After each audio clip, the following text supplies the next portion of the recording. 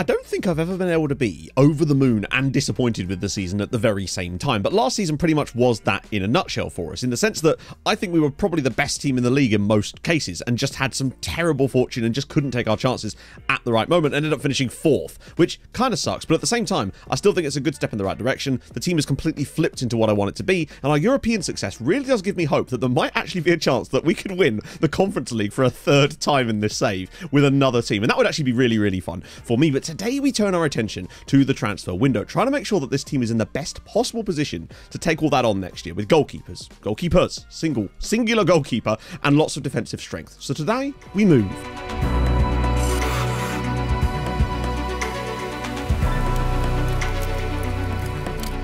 As always, of course, if you have been enjoying the series, do drop a like on it. That would be fantastic. Um, thank you for all of you sticking with me up to this point. The fact that we're 120 odd episodes in is actually kind of mad. And we really are very much in the home stretch right now, as there's really only a couple more weeks left before things uh, have to completely finish off. So hopefully we can get a lovely bit of success before then. That's the hope. Now, before we get into any squad building stuff, I just wanted to highlight something that I just thought was, what's the word I'm looking for here? Really stupid.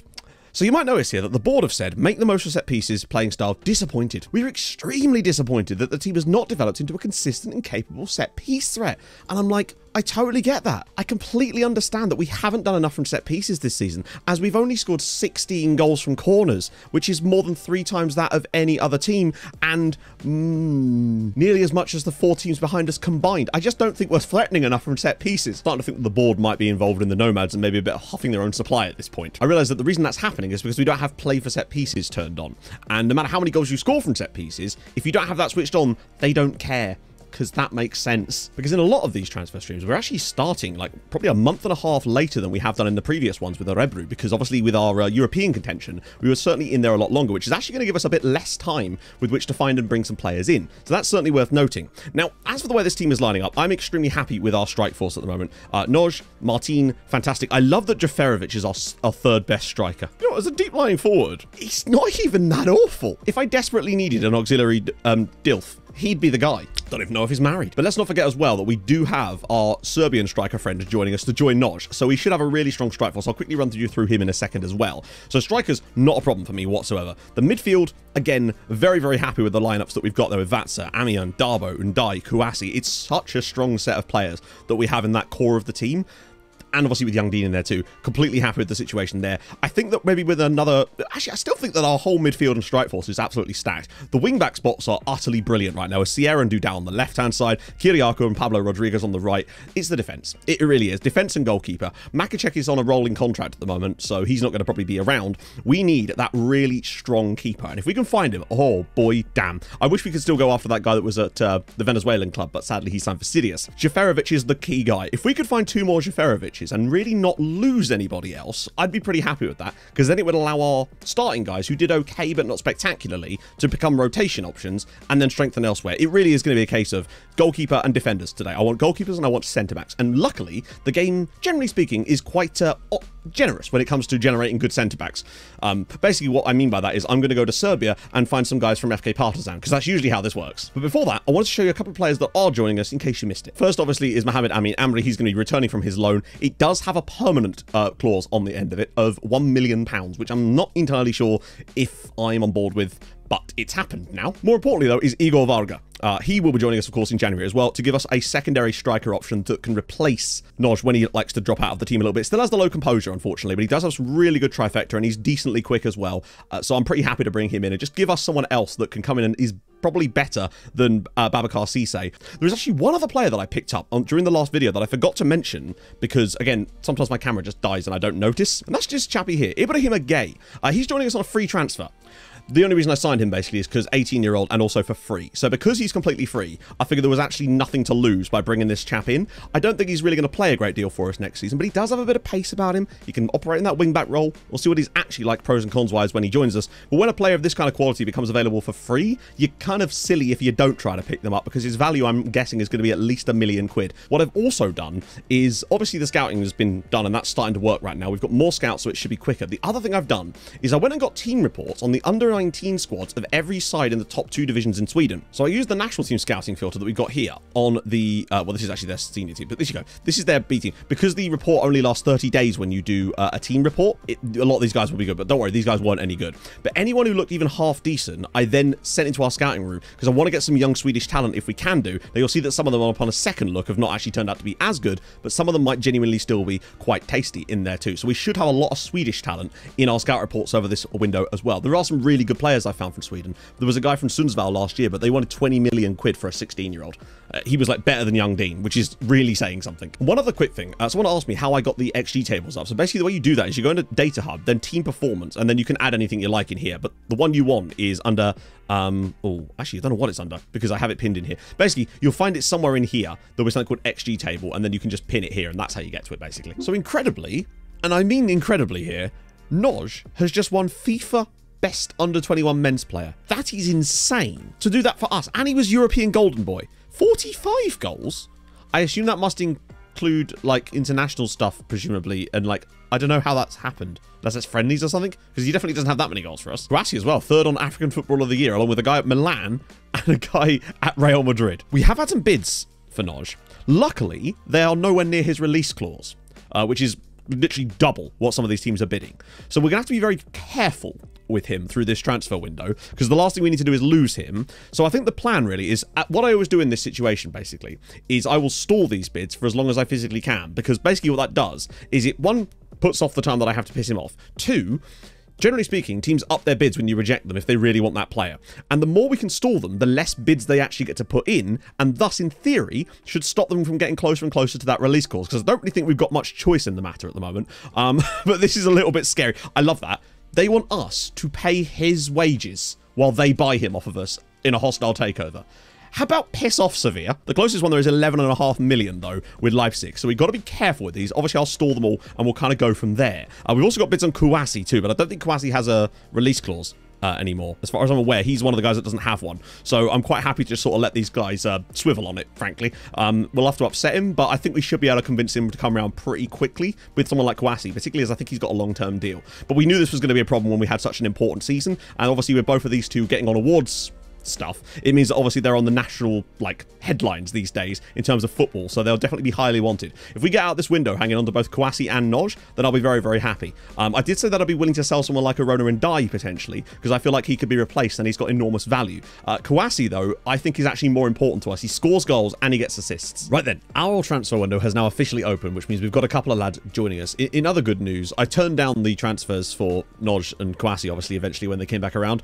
Uh, Noj complained, but seems to be okay at the moment. Basically what I told him, uh, and this is good, if you've got a player with a relatively high release clause, and and his is 22.5 million, and the clubs aren't really getting close to that with the bids, I just basically said to him, if they trigger your release clause, I'll sell you because at the end of the day, it keeps him happy now. And if they do trigger the release clause, I don't have a choice to sell him anyway. So it's kind of good on both sides. The other good thing was I was able to talk to Kouassi and convince him to stay regardless. So he's actually not no interested in leaving. So that's kind of good news. Now, on to the other stuff here. Firstly, Ibrahim Agaye is in on a... Oh my lord. Okay, that's good. I was expecting to be worth like a million quid, but the fact that it's 6.4 to 7.8 million for a free transfer. The one I'm excited about is Igor Varga. He was 950 grand.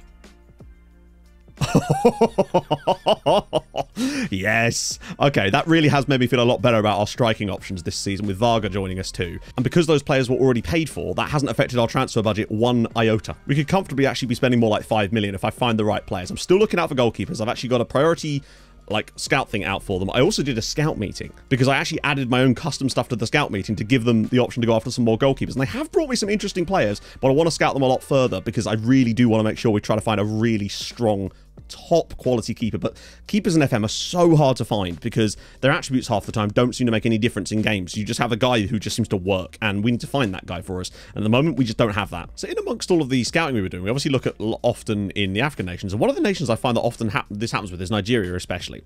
Often you'll find players that will generate solely to be in the international team squad. So you'll notice that he doesn't have a club, and he never has had a club, is Uche Lawal here. The great thing about that, though, is when you get the scout report through, you can just offer them a trial and then just keep them at the club for a little bit to learn about them. And at the moment, in a few areas, he's not fantastic. But I must say, there's a few things about him that I kind of like. And if we were, you know, getting fully scouted, because he'll only be here for a month, bring him in on a free transfer, I actually think he's quite a potentially good option for us, just as a, another young player to bring in, particularly at 16. Here's a fun fact. This is just a blast from the past thing for you here. Uh, Sifilele Madon Sailor. Do you remember him? Signing from Supersport United for Suniyuska quite a long time ago now, 10 years ago.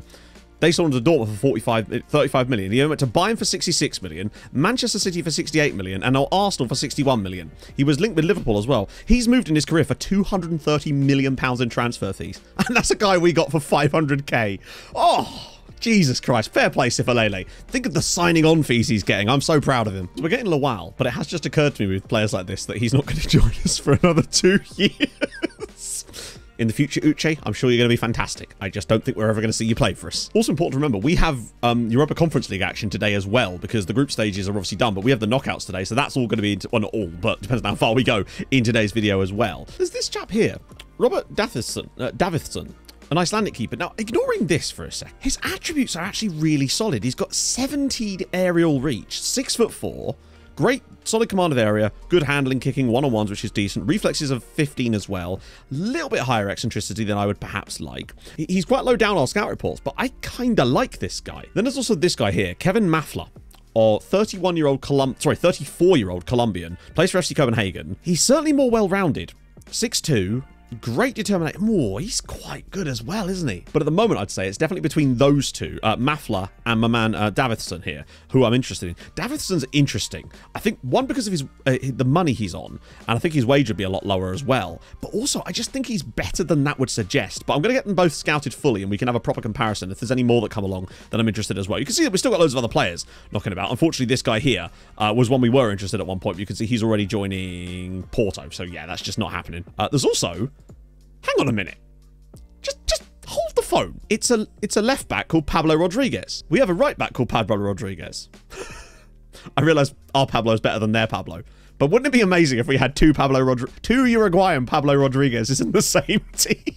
what would they put on their shirts? They don't even have middle names. I mean, I always want to try and sign it based on that alone. He's not exactly fantastic compared to his compatriot, but he is extremely, he's solid. We'll keep scouting him. Brent Makalele um, which is a fantastic name, and I would hope that he could play the Makalele role for us. He literally can't, but he'll make his own Makalele role. Thing I like about him, obviously, great physical attributes, lovely height about him. He's 15 pace on a centre back as well, which is really nice to see. Solid tackling, decent marking, okay positioning. Heading is the one thing that lets him down a little bit. I still think he's the type of player I would like to try. I think we just need to find another centre back, and to bring someone like Brent Makalele in, I think would be a good choice for us. 500k. Oh, he has a release clause. Oh, 500k for that, for him, that's fantastic. Done. I'll pay 500,000 pounds for Brent Makalele. I thought it was going to be like, you know, 2 million quid. That's fine. Well, he's interested on a squad player term, which is fine. Wages, I think, would be probably about 5k, I suspect. Yeah, 4.6. Has he got any international caps? Not yet. But he probably will do, I think. We're much closer on the likes of Mafla and our other friendo here now. Um, the problem with Mafla is the, is the wage. 13 grand a week he's on at his current club. Like, when you compare Mafla and Davidson. This is what I mean. You can see that generally speaking, uh, other than the eccentricity, which honestly I don't even consider that a good thing, right? They are very closely matched. Mafla is better at the distribution here, slightly faster, maybe tiny bit better mentals, not even close. I mean, physically better, their shot stopping better. Sweeper, for sweeper keeper on defend, which is kind of what we're looking for here. The aerial reach is a really big plus on Robert Daffison. I do wonder if that sort of, then again, that doesn't really apply for command of area because they're both the same on that one. Communication's the same, first touch is the same, handling is a tiny bit worse, kicking's a tiny bit better, one-on-one's a tiny bit worse. Uh, anticipation is better, and his aggression is much higher. Uh, he does lack the composure, but it's only minor. Concentration again, slightly minor. Decisions again, slightly minor. Uh, positioning the same. He does have much worse vision, though. I think we should try and sign both of them. I want to say try and sign both of them. I mean, literally try and sign both of them. Not actually sign both of them, but attempt to sign them and then see what it looks like when we actually break it down. They want £52,000 for Robert Daffison and I feel like if nothing else, he's very much worth £52,000. Yeah, they want 550, so literally 10 times the price. Is he 10 times, but obviously 10 times better at this point is not really the point. The fact is, they're both technically affordable. So Davidson wants 2.9 to 3k, or 3.9 a week potentially on a backup, and Mafla, do we just sign them both? I wasn't actually planning on signing them both. He wants a very short-term deal anyway. First choice keeper. The other guy's happy to be a backup. If one doesn't work out, we can flip to the other anyway. But you can sort of see how slim pickings it is with keepers at the moment. 2.9k a week with a relegation release clause, we're not getting relegated. I'm actually all right with bringing him in on a three-year contract for 2.9k a week as a backup goalkeeper. Oh, those annoying two Colombia caps are a bit a pain in the ass. you're not having a yearly wage rise if you're not going to wiggle room on your wages. It's quite a lot, honestly.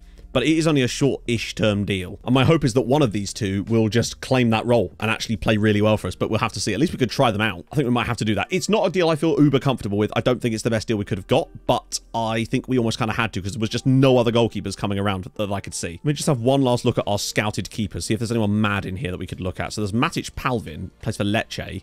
He's good, but seven million pounds and look at the wage. We got Belenenses as well. Gonna prioritize those assignments, see what happens. Um, we can always stall and delay their transfers if we need to, just so I can get a bit of knowledge on these other guys, just to see if there is anyone potentially that could be better than them. But I think we're pretty much on a bit of a brick wall at the moment. We had our first cup game and we won 8-0. Now, it was basically the same squad as last year, and I do think there's an element of just, we had a lot of young players. Those players are just going to get better and gel into this team a little bit more.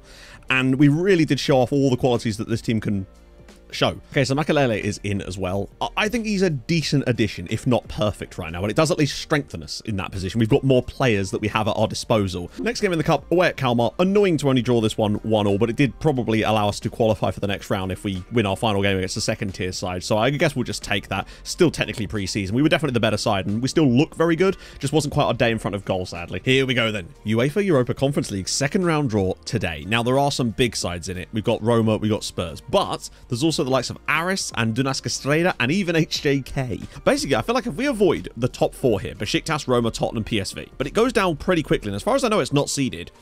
This, this could be huge for us. Come on. Oh.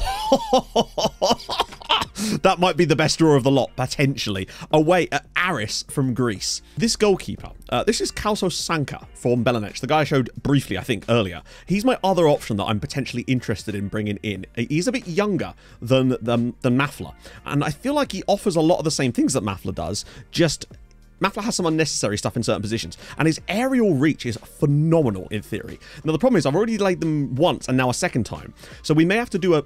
This may have to be a big cheeky one where we basically just cancel the Mafla deal at the last minute, go for Kalso Sanka, and get these two over the line instead, him and our Icelandic friendo. The final cup game of the group stages, a 5-1 thrashing, Martin with two, two for Varga off the bench as well. He's looked absolutely lightning uh, when coming into this team off the bench. And I honestly feel like even if we went into this season with the same squad, which we're obviously not going to because we've already got new players in, I think the same squad we have last year could win the league this year. I genuinely do, because I think they're better than that now because the players have improved, and I think we could have won it last year. So the day has come on these two goalkeepers. I just don't have enough info on that other guy in order to make a, an informed decision, uh, because I just, if he's on the lower end of a lot of that stuff, he's much worse than Mafla. And I feel like for the safety of the team, particularly over the short term, I feel like Mafla could be a decent option for us at the moment. If we had more time, then maybe, but I think we're just going to go with the two original lads rather than the um, the Guinea-Bissau guy from Belenenses. Uh, we'll get him fully scouted anyway and see if we maybe missed out, but I feel like we just kind of need these two keepers now. So Davidson's in as a backup. I actually still like him as a backup keeper. I think he'll definitely get some game time for us this season as well, because I think he's, I don't know, he just seems like he's got some good attributes that I quite like. That eccentricity could be a problem, but he's got such good aerial reach and good reflexes. And with Mafla coming in as well, just, mm, that punching tendency is a little bit concerning, honestly. I think he's decent. Maybe I'm just being swayed by that, honestly. We'll see what the other guys like, but we've got them both now. They're in. And I think now I want to just focus on finding one more centre back, really, to really just strengthen that part of the team and maybe just blow some money on one. So in terms of defenders that would sign for us at the moment, uh, or are unsure about signing, there's 188 that we've scouted in total over the last however long. So I find that the scouted tab is really useful. Just sometimes guys just slip through the net. Um, this is less important to me because often this is based around the league they're playing. And you notice that a lot of these guys either play in Africa or South America, which is why this is higher.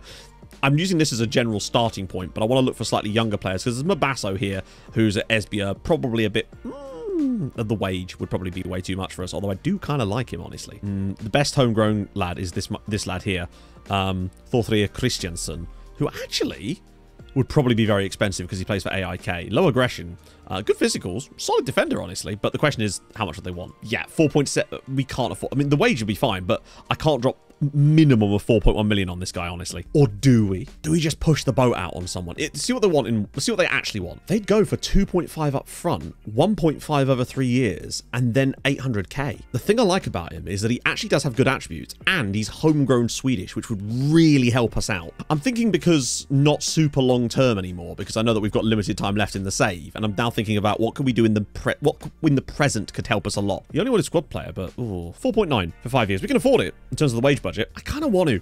I think he might add to us, plus he's homegrown. And from what I can see, other than again the heading, he's got the jumping reach. I do kind of like him still. Well, he's in. I think attribute-wise, the heading is the one thing.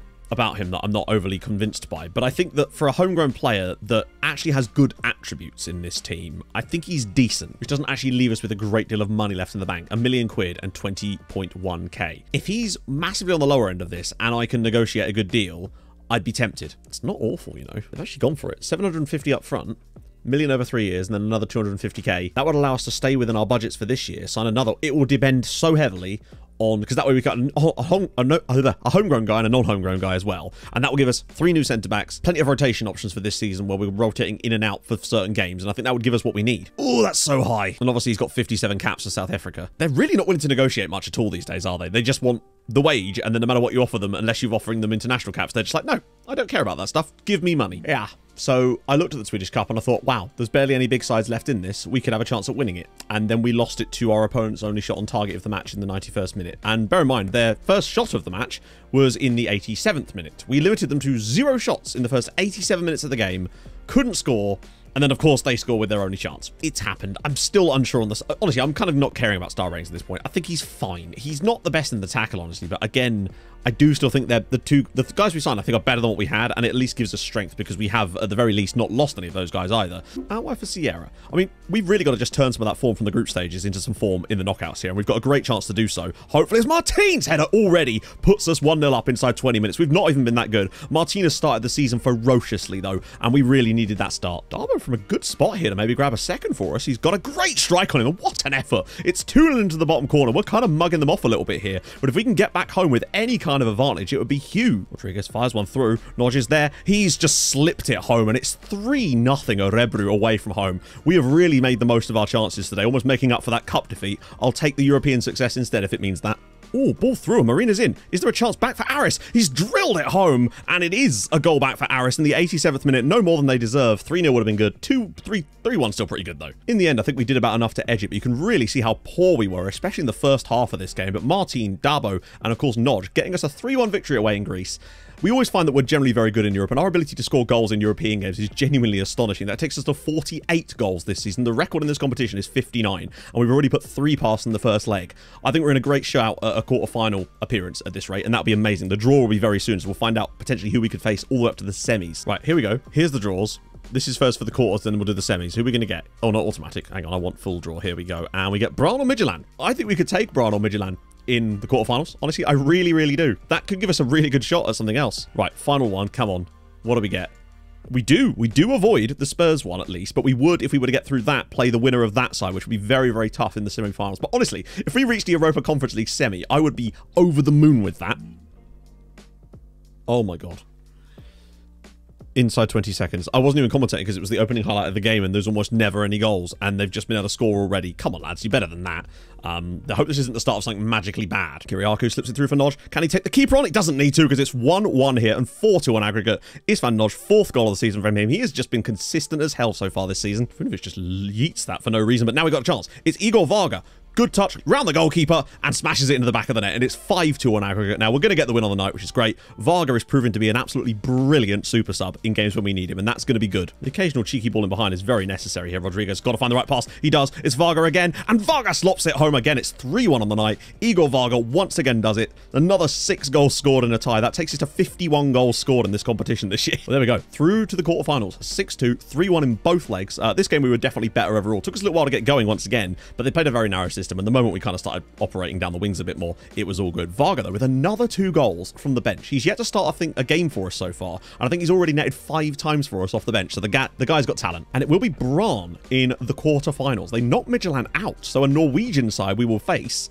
fascinating, actually. Spurs, despite a red card, do scrape past HJK in the end there, as Rangers beat Besiktas on penalties as well. So, ooh, this is getting more and more interesting. But to sort of sum up our activities, it's actually been, we've made no money. I was expecting to do some kind of wheeling and dealing. Uh, nobody ever came back in for any of those players I was interested in potentially moving on. Uh, nobody's for Trifunovic despite interest.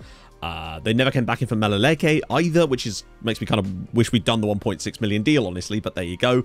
But I think we've still strengthened this team. Uh, we've got Gay on free. Varga's really helped the strike force. Uh, Makaleli, I think, is a really good signing at 400k. Mafla, I don't know. We'll, we'll have to see. Uh, Davison didn't cover himself in glory in the cup, admittedly, but he is a cheap signing and gives good backup at least. So we're at least stable in that zone right now. I think we could have maybe found better guys. It's just been so few keepers out there that I thought looked really good, honestly. Uh, Christiansen, a lot of money.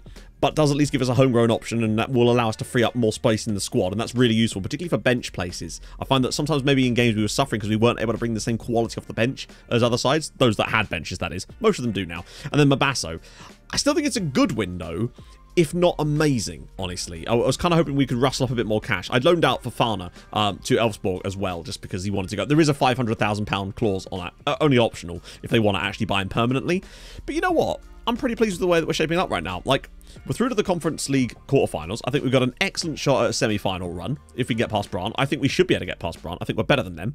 And obviously the league starts pretty damn soon as well. So it's going to ramp up massively fast straight away.